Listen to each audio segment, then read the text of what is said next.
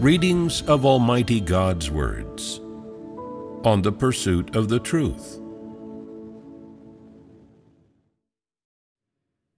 How to pursue the truth. 4.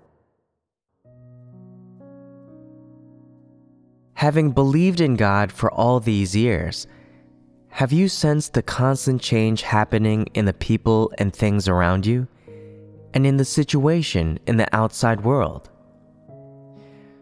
Particularly in the last few years, have you seen any big changes happening? Yes. You've seen this. And have you come to any conclusion about it? God's work is approaching its end. That's right. God's work is indeed approaching its end. And the people, events, things, and environments all around you are in a constant state of change. For example, there were 10 people in this group before. Now there are 8. What happened to the other two?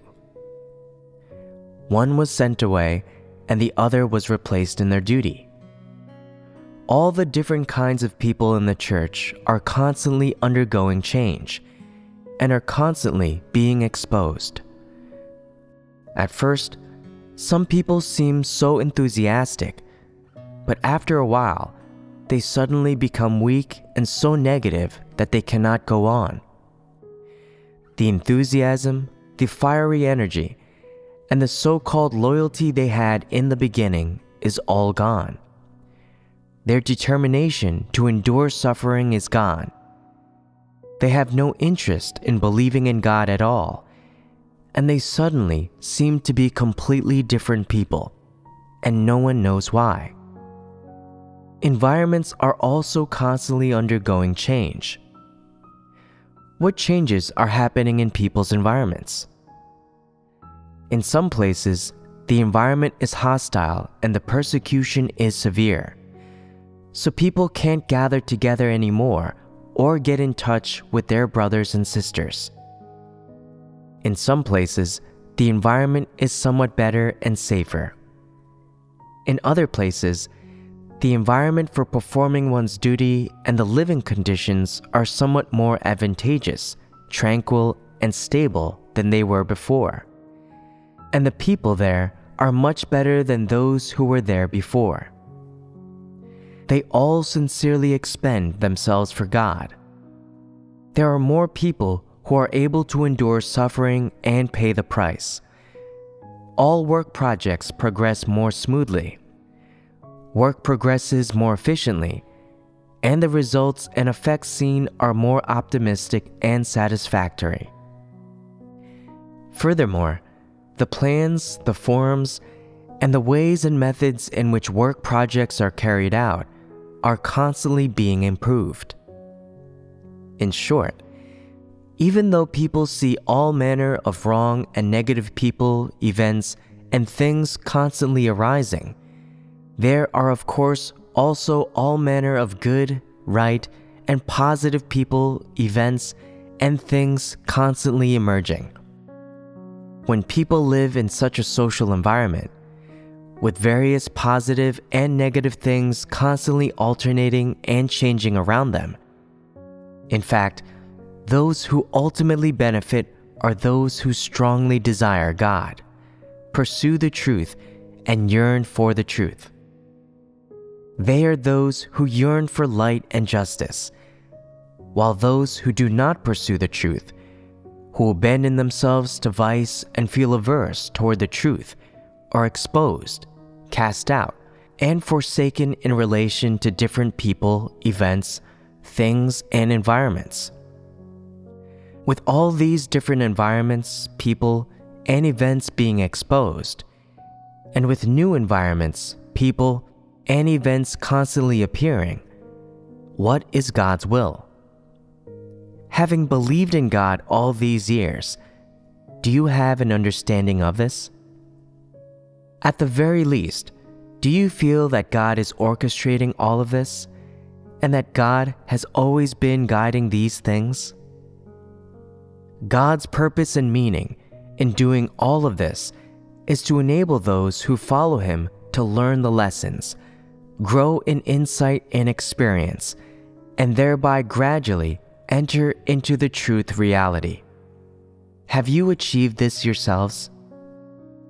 No matter how busy people are with work, or how advantageous or hostile their environment is, their aim in their belief in God is to pursue the truth without change.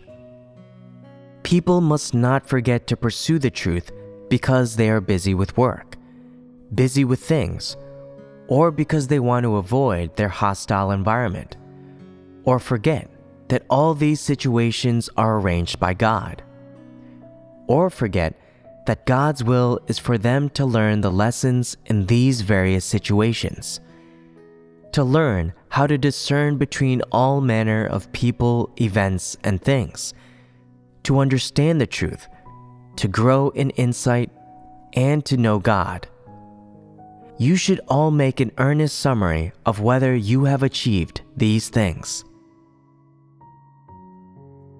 Church work has been incredibly busy in recent years, and so the transfer and reassignment, as well as the exposing, casting out, and cleansing away of members in each group has been relatively frequent.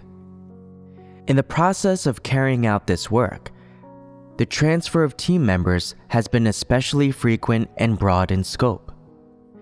However, irrespective of how many transfers take place or how much things change, the determination to pursue the truth in those who truly believe in and desire God does not change.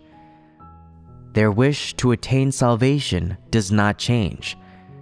Their faith in God does not wane and they are always developing in a good direction and have continued to persevere in performing their duties up to today. There are those who are even much better than this who, through being constantly reassigned, find their right place and learn how to seek the principles and perform their duty.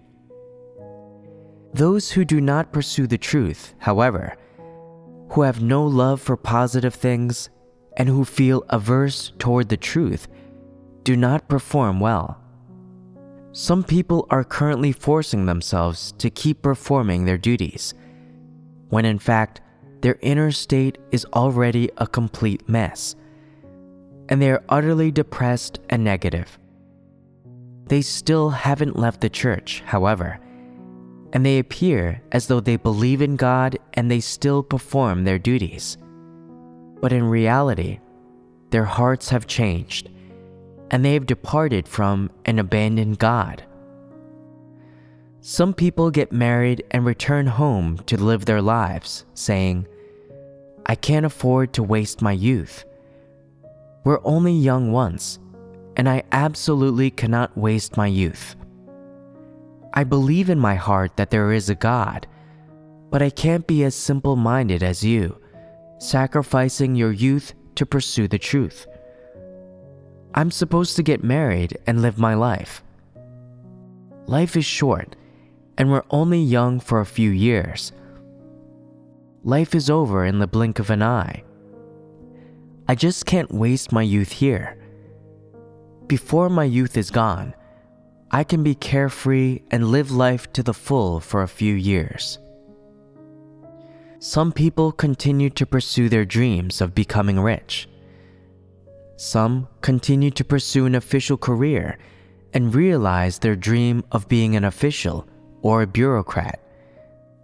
Some pursue the prosperity of having children, so they take a wife who can bear them sons. Some people are hounded for their belief in God, are persecuted for years until they become weak and sick and then they abandon their duties and return home to live out their remaining years. Everyone's situation is different. Some people leave of their own accord and have their names delisted. Some are non believers who are cleared out. And some do all manner of evil deeds and are expelled. What lies within the bones of all these people? What is their essence? Have you clearly seen it? do you feel deeply touched every time these people's stories reach your ears? You may think, how could they end up like this? How could they fall to such an end? They weren't like this before. They were wonderful. So, how could they change so quickly? These things cannot be figured out or understood no matter how much you ponder them. You consider it for a while and think, this person doesn't love positive things. They are a non believer. After some time, the things that these people do, their performance, behavior, some of their words and remarks, and their pursuits fade away in your own mind or in people's consciousness. And afterward, you forget these things, and little by little, your feelings about them disappear. When such people, events, or things appear again, you again think, Oh, it's unthinkable. How could they? They weren't like this before. I just can't figure it out. You feel the same things again, and you have the same understanding. Tell me, is it a shame when these people are exposed and cast out? No. Do you not miss these people?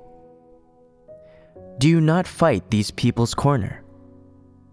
No. Then you must be very ruthless.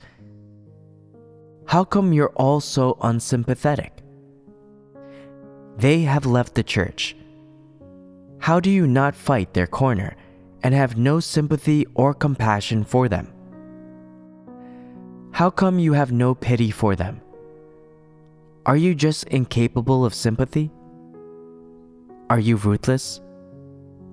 Tell me, is this an appropriate way for God's house to deal with such people? Yes. How is it appropriate? Tell me. These people have believed in God for so many years and heard so much truth that for them to behave in such a way now and to betray God and depart from Him shows that they are non believers who are not worth our pity and not worth missing.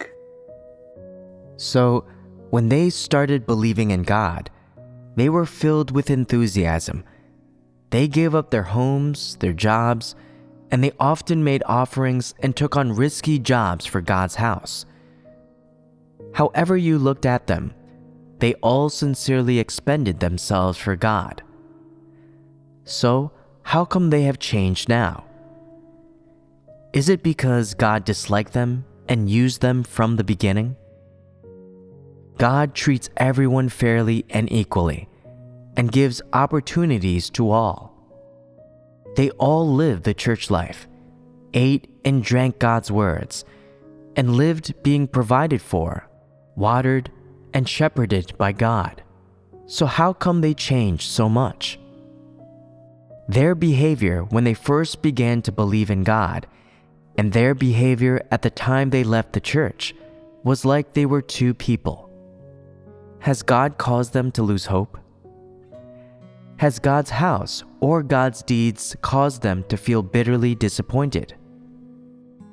Has God, the words God utters, or the work God does hurt their dignity? No. So, what's the reason then? Who can explain this?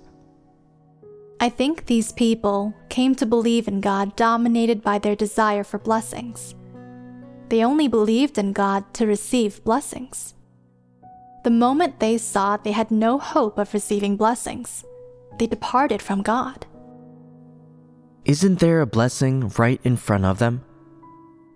It is not yet time to stop performing their duties. So, what are they in such a rush for? How come they can't even understand this? I think that when these people first came to believe in God, they relied on their enthusiasm and good intent, and they were able to do some things. But now God's house is treating all its work more and more seriously. It requires people to do things in line with the truth principles. But these people don't accept the truth. They run amok, doing whatever they please when performing their duties, and they're often pruned. So they feel increasingly that they cannot keep on muddling along as they are until finally they leave God's house. I think this is one reason. They cannot keep on muddling along as they are. Is this a true thing to say? They cannot keep on muddling along as they are. This is said regarding people who muddle through things. There are some people who come to believe in God who do not muddle through things, who are very earnest, who treat this matter very seriously. So, how come they didn't keep going? Because, by their very nature, these people do not love the truth. They came to believe in God in order to receive blessings. They see God's house always talking about the truth and they feel averse and resistant toward the truth. And they become less and less willing to attend gatherings and listen to sermons, and this is how they get exposed. This is a kind of situation, and there are many people like this.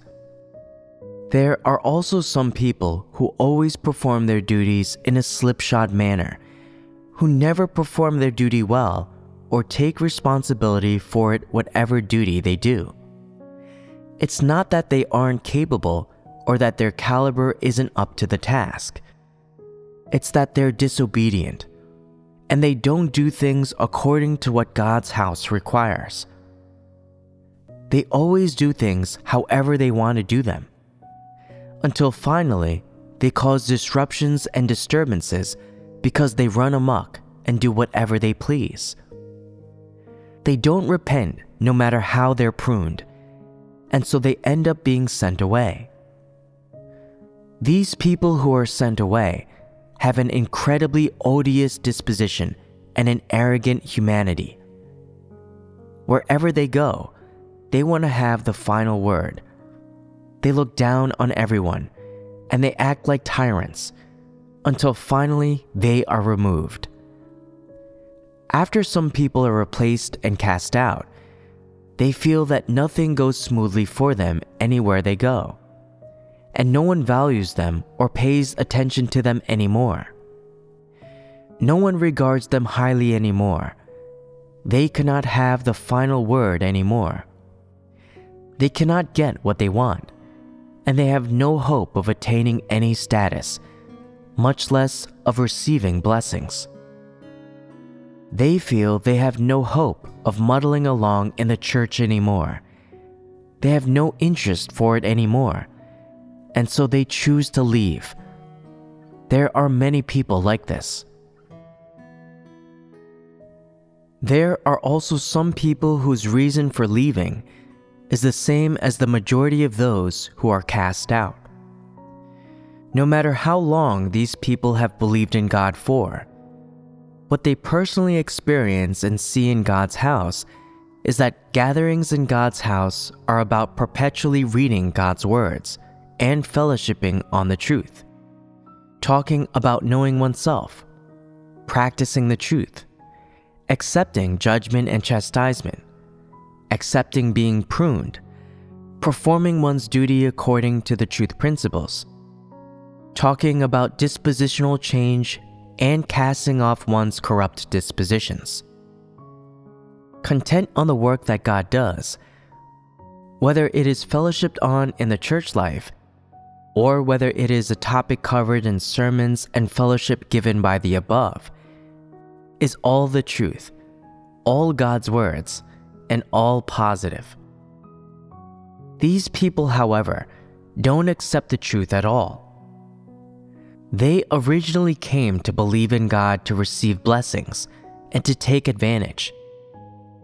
Looking at their nature essence, not only do they not love positive things or the truth, but even more seriously, they are extremely repulsed by and hostile toward positive things and the truth. That's why the more God's house fellowships on the truth, the more it talks about practicing the truth. The more it talks about pursuing the truth and doing things in accordance with principles, the more uneasy and repulsed these people feel inside, and the less willing they are to listen. Tell me, what is it that these people like to hear? Do you know? They like to hear topics about destinations and receiving blessings, and about the work of spreading the gospel reaching unprecedented levels. These are some things they want to hear. They also like to shout slogans, preach doctrine, and talk about theology, theory, and mysteries. From time to time, they talk about when God's work will come to an end, when the great disasters will befall, what mankind's future destination will be, how evil forces will be gradually destroyed when the disasters come, how God will perform some signs and wonders, and how the forces and scale of God's house will be constantly expanding and growing, and about how they will strut around showing off too. Moreover, the most important thing to them is that they'll be constantly promoted and put to use in God's house. In this way, they'll be able to muddle along in God's house for a time but while they're muddling along, none of the work done by God or God's house is what they want it to be. And everything they hear and see are matters concerned with the truth. In their hearts, therefore, they are extremely averse to the church life. They're not interested in it. They feel restless, unable to stay, and they feel tormented by it. Some people find an excuse, a reason, and a pretext, and find a way to leave the church, saying, I will commit an evil act, give vent to some negativity, and do something bad. The church will then clear me out and expel me, so I'd be perfectly justified in leaving the church. Then there are those who hand in their books of God's words and pack their stuff and leave when they go out to sort out their foreign entry permits without even so much as a goodbye. These people are like hooligans and whores, and they don't do things in the way that normal people do. What virtuous women and normal people think and what they say when around other people are the serious matters of how to live life.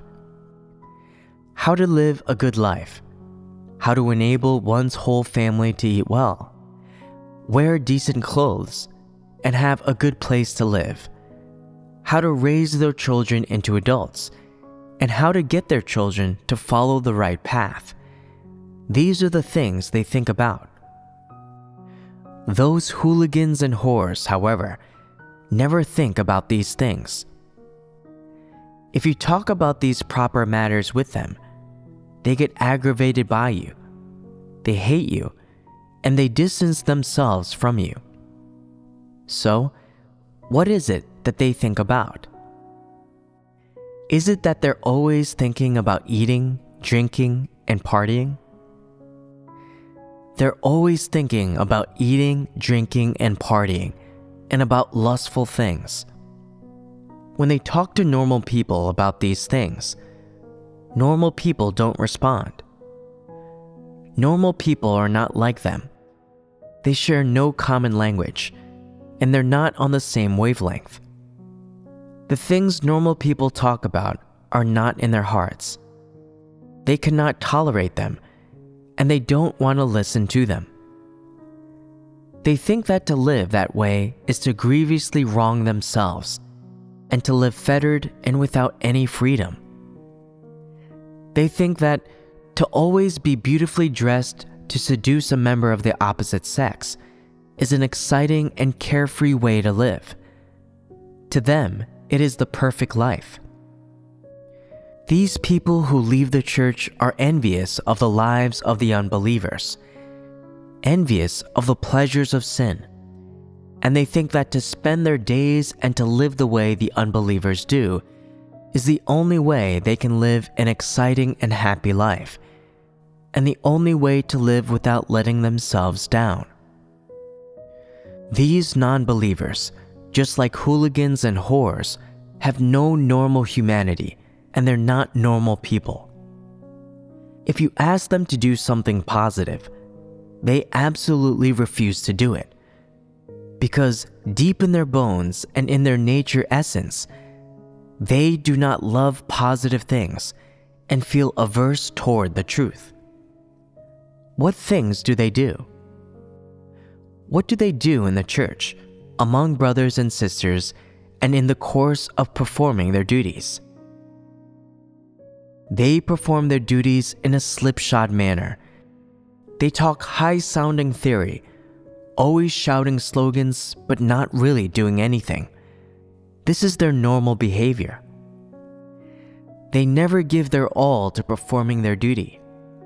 They're always slipshod and merely go through the motions, doing things only for others to see, while also jockeying for prestige and profit around other people. These evil people also cause other people to suffer and suppress them. And wherever evil people are, there is no peace and no rest. There is only chaos. With evil people in charge, not only does work not progress efficiently, but it becomes paralyzed. With evil people in control of a church, good people are bullied, the church becomes unbearably chaotic. The faith of God's chosen people will become lukewarm, and they will become negative and weak. Wherever evil people are, they play a disturbing and destructive role. The most obvious manifestation of evil people is their unwillingness to perform their duties. Even if they perform their duties, they do so in a slipshod manner and never treat them seriously. They also disturb other people in the performance of their duties. There is another point to make, and that is that evil people never read God's words, never pray, never fellowship on the truth with others, and they've never even opened their books of God's words. Some people make specious arguments on behalf of evil people, saying, even though they haven't read God's words, they still listen to sermons. But do they understand them? They simply don't listen in earnest. They never watch the videos and movies produced by God's house. They don't listen to hymns. They don't listen to experiential testimonies and they don't listen to recordings of sermons. At gatherings, they get sleepy, and there are even some who mess around on their phones and watch entertainment programs. There are also some who watch adult films. Nothing they do all day has anything to do with believing in God or pursuing the truth. As God's house fellowships on the truth in more and more detail, the repulsion they feel toward the truth and toward positive things becomes increasingly obvious. They feel restless, and within the time limit they can tolerate, they are unable to see and cannot wait for the good destination, good end, and the great disasters they so long for. They cannot wait for these things. So are their hearts not in turmoil? What kind of turmoil? Are they not always calculating in their hearts? They are never prepared to accept God's judgment and chastisement, accept God's sovereignty and arrangements, submit to the arrangements of God's house, and give their all in the performance of their duties at any time and in any place. What is their mindset?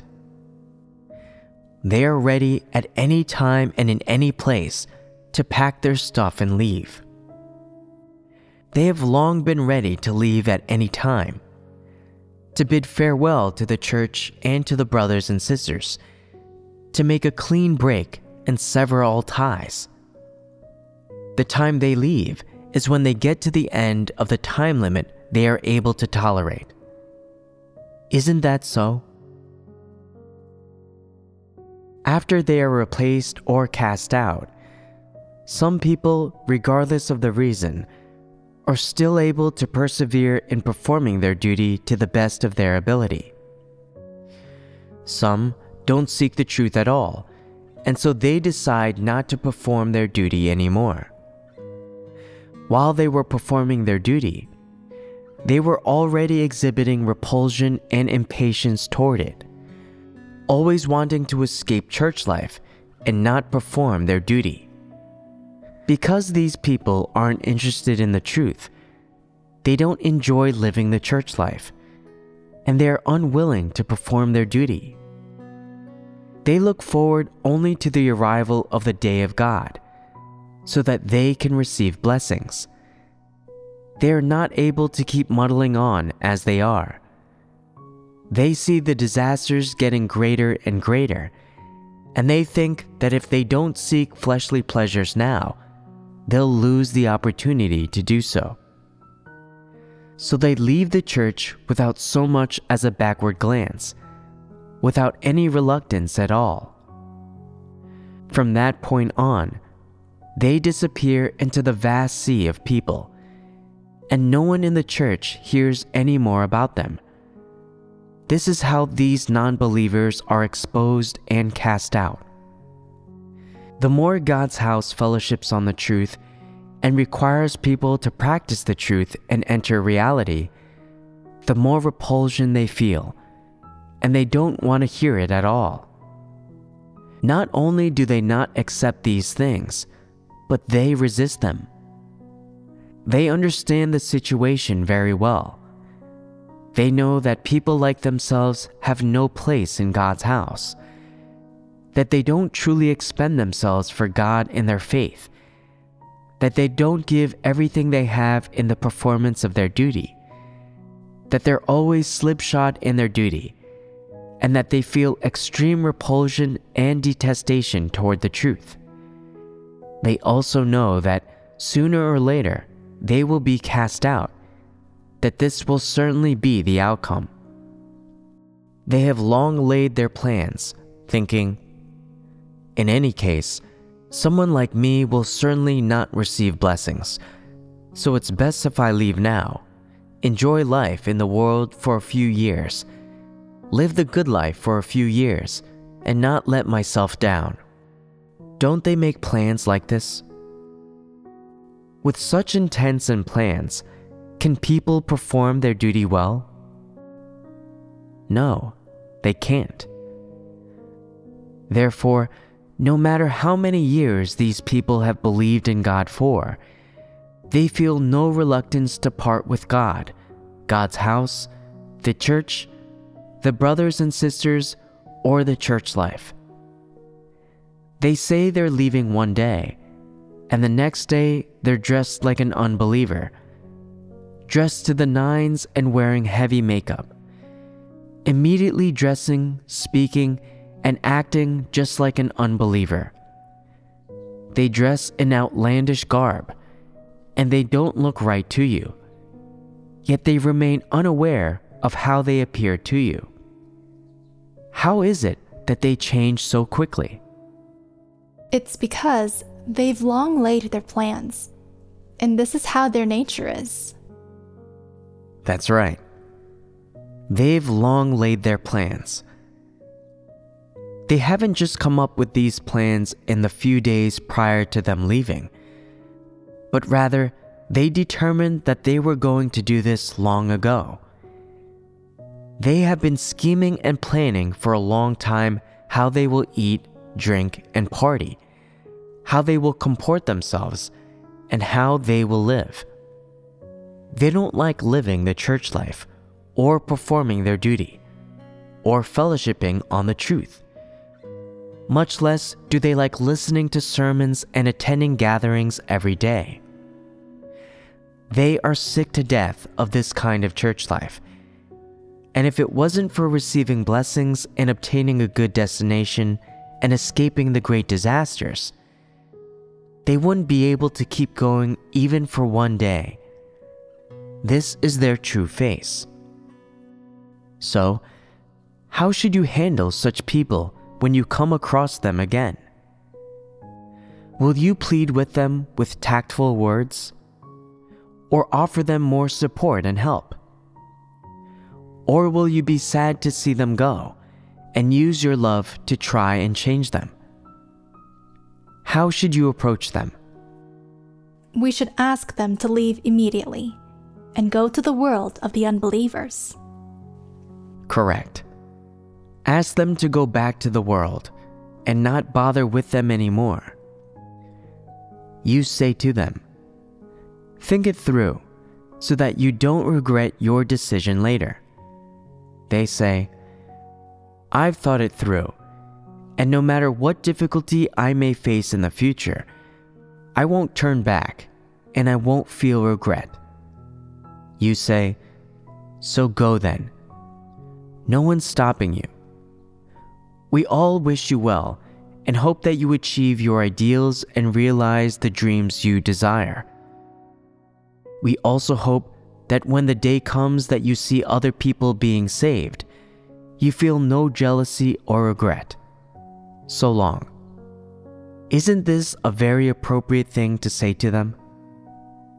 So, regarding such people as this, one aspect is that you must see their nature essence clearly, while another aspect is that you must approach them in the appropriate way.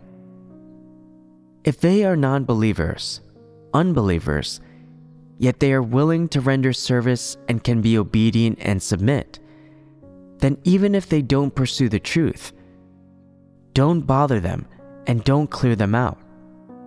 Instead, permit them to continue rendering service, and if you can help them, then help them. If they have no desire even to render service, and they begin to be slipshod and commit evil acts, then we've done everything that is called for. If they want to leave, then let them leave, and don't miss them when they're gone. They are at the point when they should leave, and such people are not worth your pity, for they are non believers. What is most pitiful is that there are some people who are incredibly foolish, who always hold personal feelings toward those who are sent away, who always miss them, who speak on their behalf, who fight their corner, and who even weep and pray and beseech for them. What do you think about what these people do? It's so foolish. How is it foolish?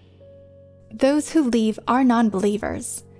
They don't accept the truth, and they are simply not worth praying for and not worth missing. Only those to whom God gives opportunities and who have hope of being saved are worth the tears and prayers of others. If someone prays for a non believer or a devil, then they're very foolish and ignorant.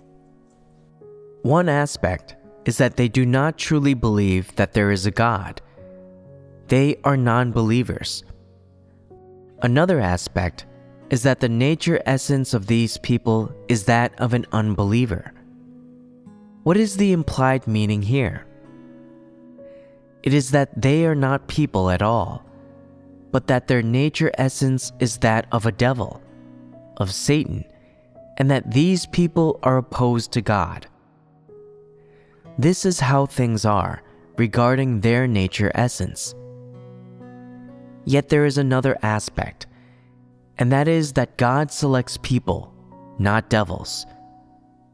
So, tell me, are these devils God's chosen people, and are they selected by God? They are not God's chosen people. So if you always have emotional entanglements with these people, and are sad to see them go, then doesn't that make you a fool? Doesn't that make you opposed to God? If you have no deep feelings toward true brothers and sisters, and yet harbor deep feelings for these devils, then what are you? At the very least, you are muddle headed. You don't view people according to God's words.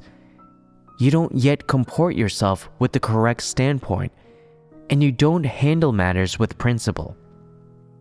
You are a muddle headed person. If you have feelings for one of these devils, then you will think, Oh, but he's such a good person, and we have such a good relationship.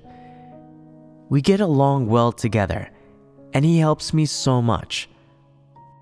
When I'm weak, he gives me such comfort, and when I do things wrong, he's tolerant and patient with me. He's so loving. He was like this only to you. So, what are you? Aren't you just another ordinary corrupt human being? And how does that person treat the truth? Treat God, and treat the duty God's house entrusts him with? Why don't you see things from these perspectives? Is it accurate to see things from the perspective of your own personal interests, with your fleshly eyes and feelings? Clearly, it isn't. And as it is not an accurate way to see things, you should let it go and change the perspective and standpoint from which you regard that person. You should seek to approach and handle that person taking God's words as your basis. This is the standpoint God's chosen people should adopt and the attitude they should have. Don't be a nitwit. Do you think you're a kind person because you feel pity for others? You're incredibly foolish, without any principles at all. You're not treating people according to God's words. You're standing on the side of Satan and sympathizing with Satan and devils. Your sympathy is not directed at God's chosen people or at those whom God wants to save, and it is not directed at true brothers and sisters. These people who are non believers are never willing to perform their duty, and they always perform it however they please. No matter how you fellowship on the truth with them, they don't accept it. And even if they do understand a little truth, they don't put it into practice. There is another main manifestation that they exhibit. What is that? It is that they've always performed their duty in a slipshod manner. They are always slipshod, and they stubbornly refuse to repent. They are very attentive, earnest, and rigorous in their own affairs, and dare not neglect them at all. They have thought carefully about their food and clothing, their status, reputation, self respect, fleshly enjoyments, their illnesses, their future, prospects, retirement, and even matters regarding their own death. They've got all the bases covered. When it comes to matters concerning performing their duty, however, they are completely inattentive, much less do they pursue the truth. Some people get sleepy and doze off every time they attend a gathering and they even feel repulsion when they hear my voice. They feel deeply uneasy. They feel restless. They stretch and yawn, scratch their ears, and rub their cheeks. They behave like animals. Some people say, Sermons last a long time at gatherings, and some people can't sit still for that long. In actuality, Sometimes the gathering has only just begun and they start fidgeting, and they feel repulsion as they listen. That's why they never listen to sermons or read God's words. The moment they hear someone fellowshipping on the truth, they feel repulsion, and they're sick and tired of seeing people listen with rapt attention. what is the nature essence of such people? They wear human skin. On the outside, they are human. But if you peel the skin back, they are devils, not humans. God wants many to be saved, for those with humanity to be saved. He doesn't want devils to be saved. God does not save devils. You must remember this always and not forget it. You must not associate with any of those who wear the skin of a human, but whose nature and essence are that of a devil. If you have not severed all ties with such a person, and you try to please them and flatter them, then you will become Satan's joke, and God will detest you and say, You blind fool, you cannot understand anyone. God does not save devils. Understand? God does not save devils, nor does he select devils. Devils can never love the truth, nor pursue the truth, much less submit to God.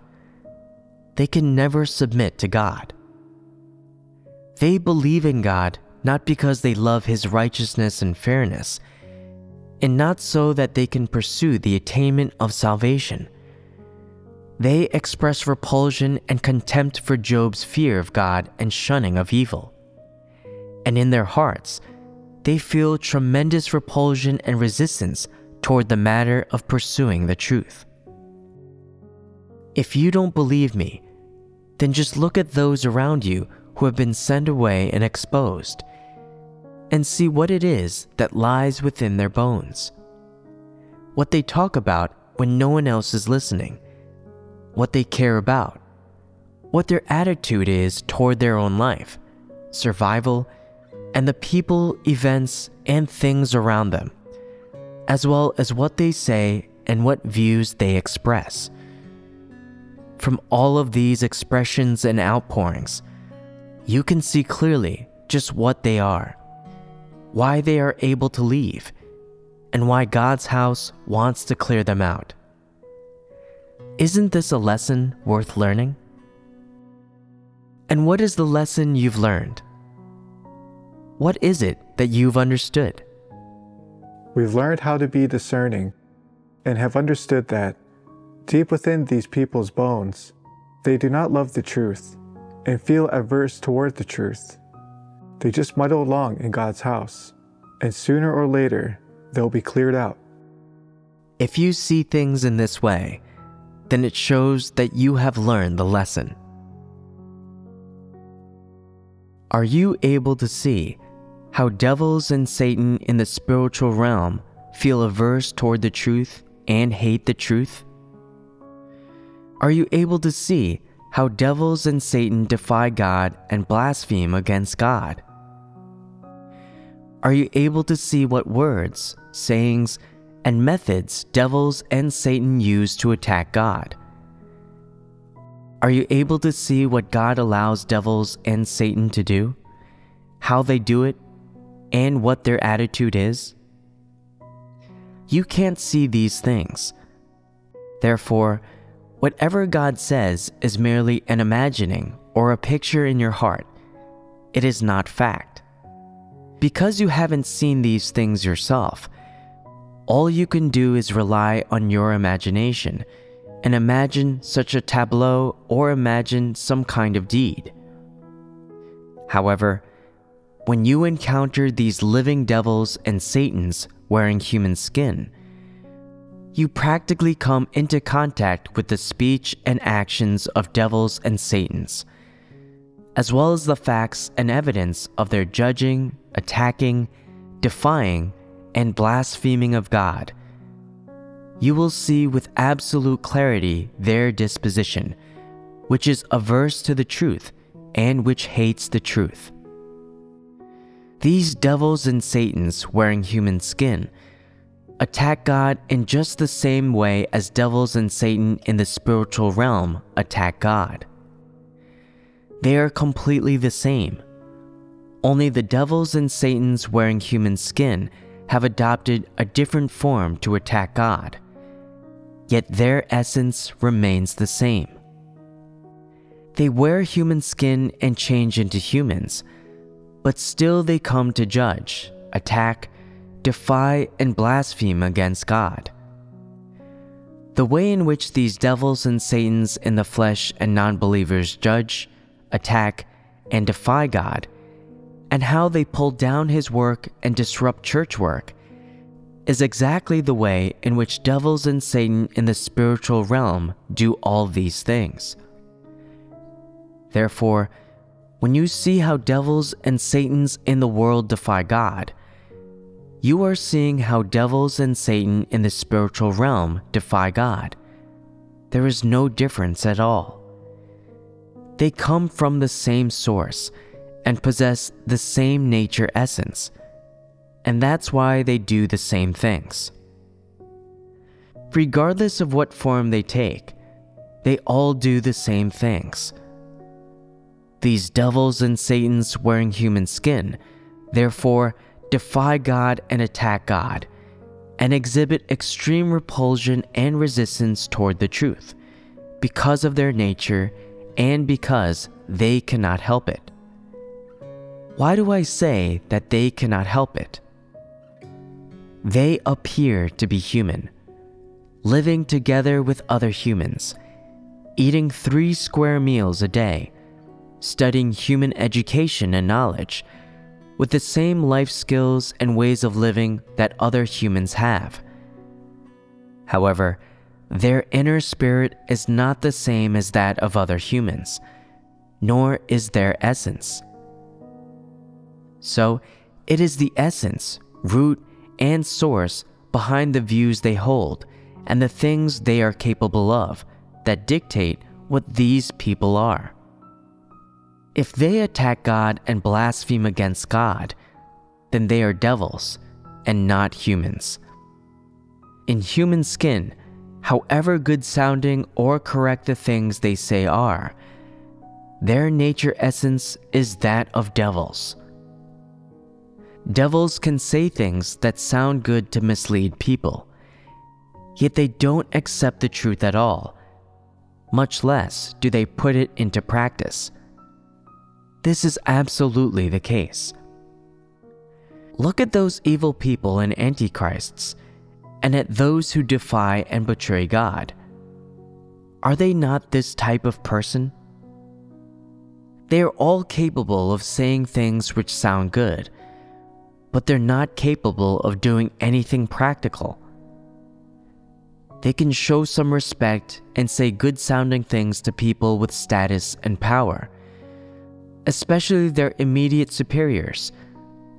But when they come before God, they don't even show the bare minimum of respect for the incarnate God.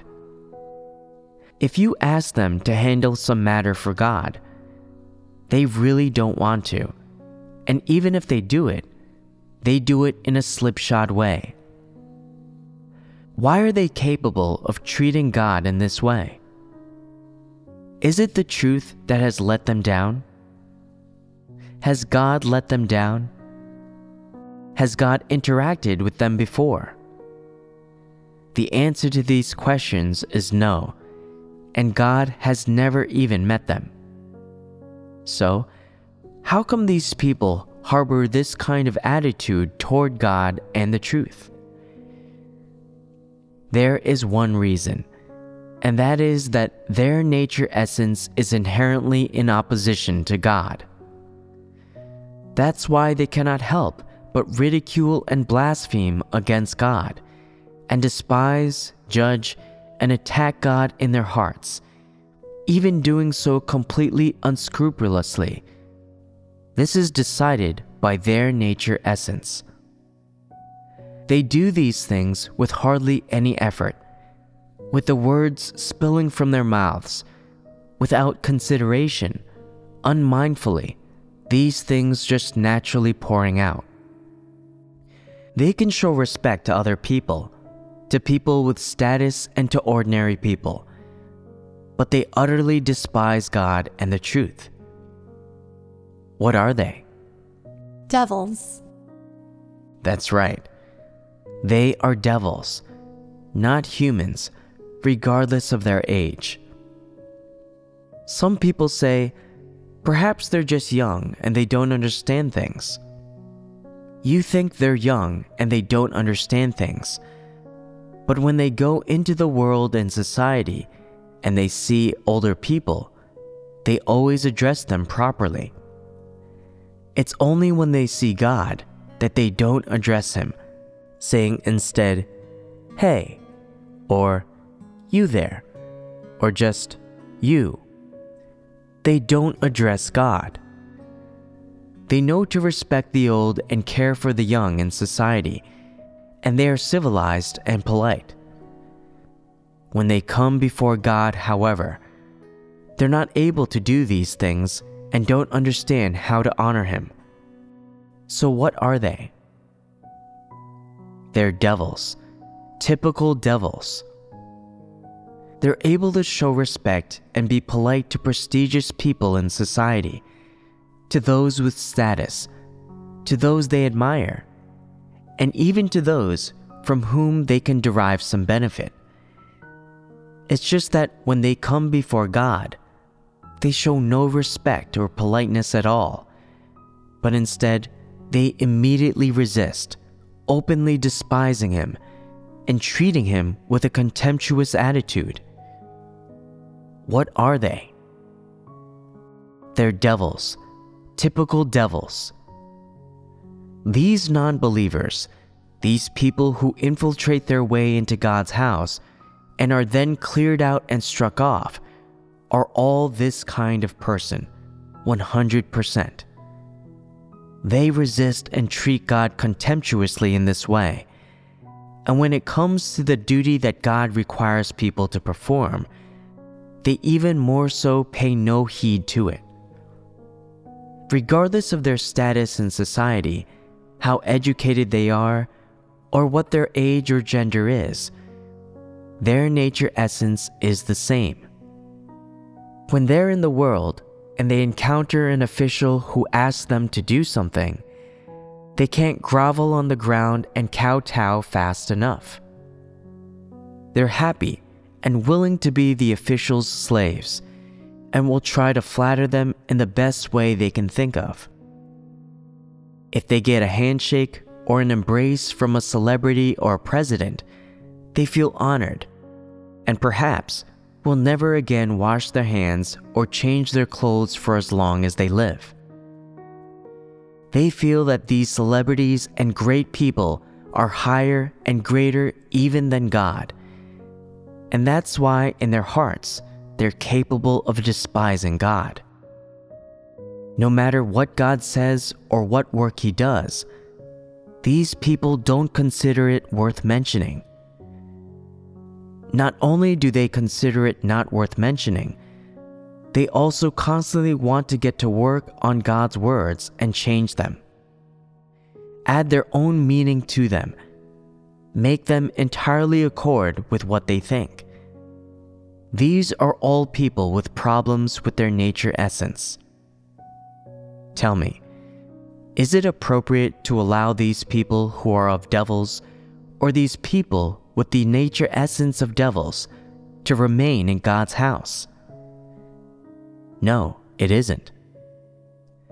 They're not the same as God's chosen people.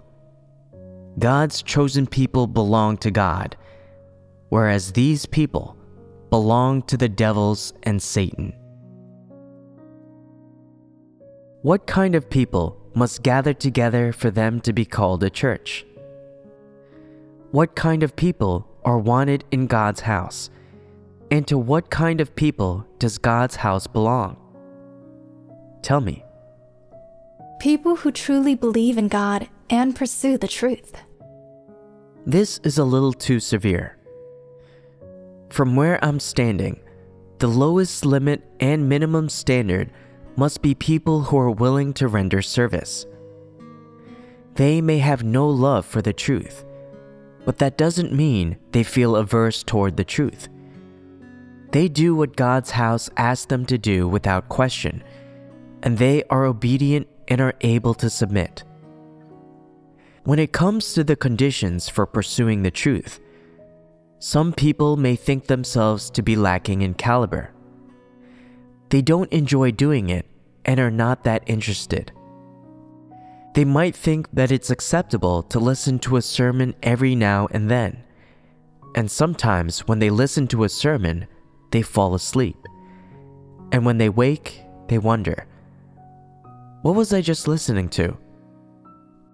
I've forgotten. I'd best get to work. It's enough for me to just do my work. They're not unruly or disruptive, and they work hard at whatever work is arranged for them. They have a real air of sincerity about them, and they're like old work horses. Their owner just tells them to work, and whether it's turning a millstone, pulling a plow, working in the fields, or pulling a cart, they always have a real air of sincerity about them and can complete tasks without causing any trouble. What is it that they think? I'm told that I'm a service doer, so I'll render service. I'm not worth anything. I'm a lowly nobody.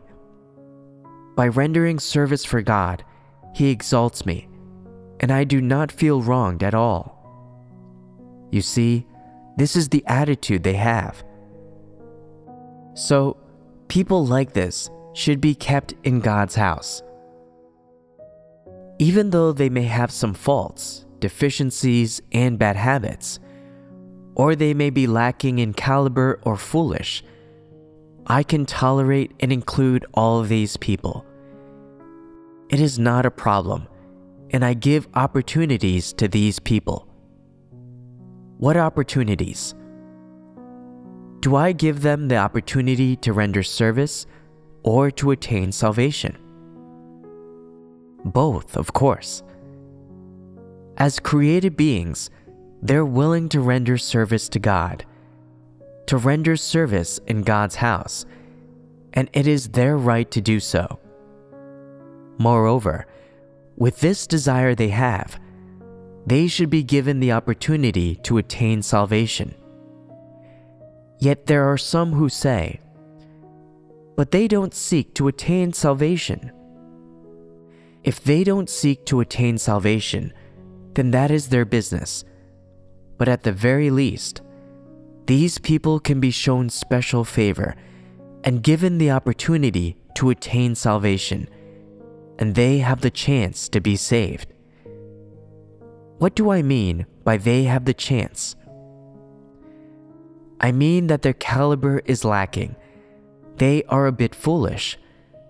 They can't take on very big or important work in the performance of their duties, but just do an ordinary duty. They don't play a very important role in God's house. They don't take on any important jobs while God is expanding His work and they make no great contribution. However, because they have this desire to be willing to render service to God, they are shown special favor and given the chance to be saved. This is the special favor they are granted. God gives many opportunities to every single person. Does God treat people fairly? Because no matter how weak they are, how lacking their caliber is, how foolish they are, they are members of the ordinary and corrupt human race. They just personally don't pursue the truth very actively, but they're still right as people. In the end, whether they're able to gain the truth or attain salvation, as far as God is concerned, he bestows kindness on them and shows them special favor. For these people are made from a completely different mold from those non believers and those devils who oppose God, and they have a different essence. Those people are devils and the enemies of God, whereas these people, despite seeking only to render service and settling for rendering service, have no resistance to God in their hearts. They will never actively attack God, judge God, or blaspheme against God, and they harbor a positive and right attitude toward God. That is, they're willing to render service to God, whether they're able to attain salvation or not. Then there are some who are a little better than this, and who, during their time rendering service, are able to put some truths into practice as much as they're able, who actively and positively seek some of the truth principles, and who strive to not go against the principles. This is the desire and the attitude they possess, and so God bestows kindness upon them. God does not treat them unfairly. He just doesn't give up on them and always gives them opportunities. By the time God's work comes to an end, if they've achieved submission to God and can escape the influence of Satan, then God will lead them into the kingdom. This is the destination they ought to have. God wants to save these people, and He will not give up on them. As to how God will do this and fulfill these words, one day you will know. What is God's attitude toward devils and Satans? His attitude is that he feels averse toward them. Needless to say, he feels averse toward them. God uses devils and Satans to render service at the appropriate time and place in the appropriate situation and with the appropriate things, and once they have rendered service, they are kicked out without any consideration. Their nature essence, which does not pursue the truth, and which is averse to the truth, is constantly being exposed in all manner of situations. God does not bestow kindness upon them, for God absolutely detests them and is extremely disgusted with them. These foolish people with poor calibers, some of which may even be muddled, however, are willing to render service to God, and they harbor the attitude and the determination of wishing to render service to God and never regretting it. In day to day life, therefore, God will always forgive their foolishness and tolerate their weakness as well as protect them and watch over them. What do I mean when I say that God will protect them and watch over them? I mean that God will enlighten them regarding the literal meanings of the few truths they are able to comprehend, and allow them to understand the truths they are able to comprehend. God is with them, bestowing peace and joy upon them and when they encounter temptation, God will arrange suitable environments for them to protect them from it. What are the main temptations? There are many temptations marriage, improper relationships between males and females, money, status, fame and profit, reputation as well as a good job and a good pay package, and so on. These are all temptations. And in what other ways does God protect people? He cures you of sickness to prevent you from suffering. He keeps you from being snared and attacked by evil people, and so on. Moreover, when you encounter some difficulties or some things that appear calamitous, God will arrange some people, events, and things to protect you from these calamities and difficulties, enabling you to smoothly render service to God in His house as you wish until the end. Isn't this a good thing? So, to be able to have everything go smoothly and for everything to go as you wish. What does this come from? God's protection. Correct. It comes from God's protection, from God watching over you, and from God's kindness. Those people who are of devils, however, cannot help but do devilish things. They make mistakes in everything they do, and they all harbor evil intentions. It's normal for them to often fall into temptation. It's exactly what they need. Like a great rock that falls suddenly from the sky, hitting them on the head, crushing them, and then they're dead. The people who are willing to render service to God will encounter these things too. But with God's miraculous protection, this disaster doesn't befall them it passes them by, and in their hearts they say, God is protecting me. It's not my time to die. God is keeping you alive as you are still useful to Him. God gave you your life, and since you're willing to render service to Him and offer yourself up to Him, why would God not protect you? God will surely protect you. Does God want much from people? These people who are willing to render service to God actually aren't very talented, and their caliber isn't that great. They have a limited understanding of the truth, to the point where they can only understand some words and doctrines, and learn to speak like other people do. They simply aren't able to grasp the truth principles, however nor can they reach to pursuing the truth or attaining salvation. Their submission to God merely involves doing what they're told by God's house, and there is no way they can submit to the truth. That's all. And so, because they are only ordinary corrupt human beings, and because they're willing to render service to God, God does not discard them. Therefore, those people who are cleansed away are certainly nothing good.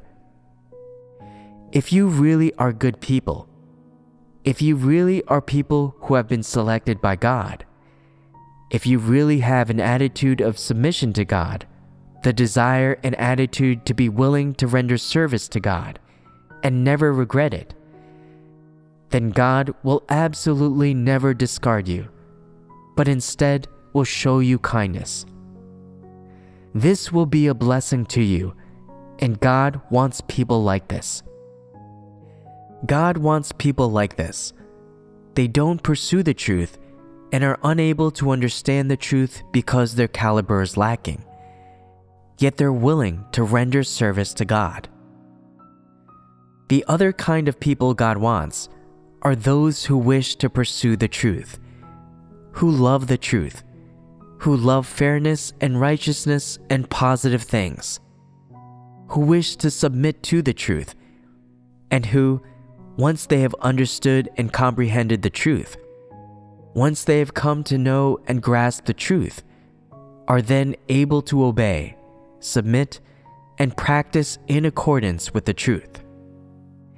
Furthermore, these people have the determination to pursue the truth and attain salvation, and they have never doubted God. These people are, of course, those whom God loves and wishes to save. Are you able to meet this standard, however? And what will you do if you're not able to meet it?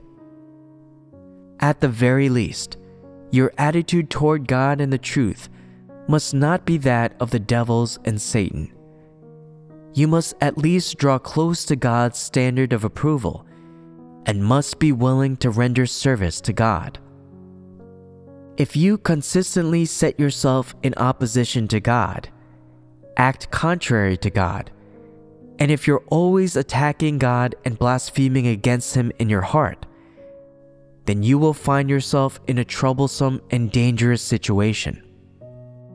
You should be clear in your heart about what attitude you hold toward God, and you should categorize yourself according to the different types of people I've been talking about here.